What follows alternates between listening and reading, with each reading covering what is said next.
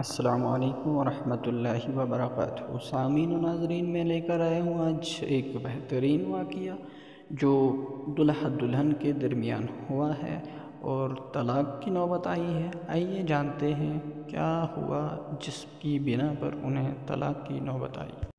वाकई की और लड़ने से पहले मैं आप सबसे गुजारिश करता हूँ कि मेरे चैनल आदिल अफजर को सब्सक्राइब करें और मेरी वीडियोस अच्छे लगे तो खूब शेयर लाइक कमेंट करना ना भूलें एक लड़की की शादी हुई शादी की पहली रात दूल्हा खाने का बड़ा सा थाल लिए कमरे में दाखिल हुआ खाने से बड़ी ज़बरदस्त खुशबू आ रही थी।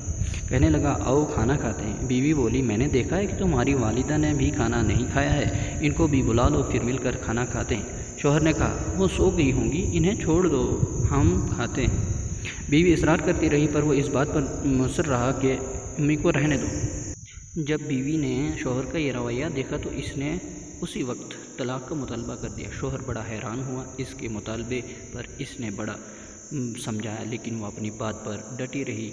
यहाँ तक कि तलाक़ हो गई। दोनों अलग हो गए फिर दोनों ने दूसरी शादियाँ कर ली। तीस पैंतीस साल गुजर गए औरत के बेटे हुए बहुत मोहब्बत करने वाले माँ का ख्याल रखने वाले। बहुत आसूदा हाल थी वो। इसने इरादा किया कि हज करना चाहिए। सफ़र के दौरान इसके बेटे इससे किसी मलक की तरह पेश आ रहे थे। आम ज़मीन पर लगने न देते थे। सहराई सफ़र था।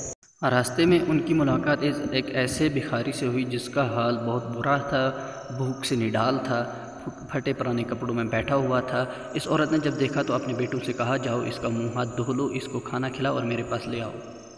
जब इस औरत ने उस शख्स को देखा तो जान गई कि यह मेरा पहला शोहर है। इसने कहा कि, क्या, क्यों कर ऐसा हाल हुआ है? उसने कहा कि, मेरे बेटे ने मुझे अपने घर से निकाल दिया और मेरे साथ बहुत बुरा सलूक किया। औरत ने कहा कि, क्यों कर करते? अगर आपने अपने वालदेन के साथ अच्छा सलूक किया होता तो आपके बेटे भी आपके साथ अच्छा सलूक करते।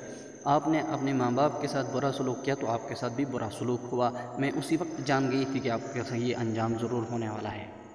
इसीलिए मैं डर गई थी कि कल मेरे साथ भी ऐसा ही होगा।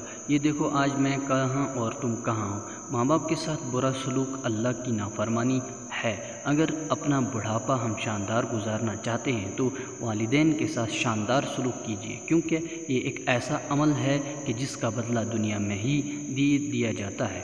ख्वा वो अच्छा हो या बुरा, अल्लाह ताला हम सबको अमल करने की तोफ़ी अदा फ़रमाए और सबको खादिम वालदेन बनाए।